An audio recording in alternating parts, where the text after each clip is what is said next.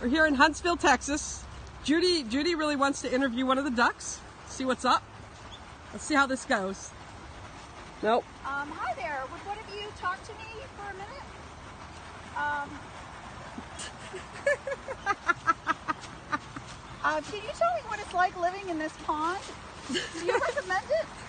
Why are you walking away from me? Okay.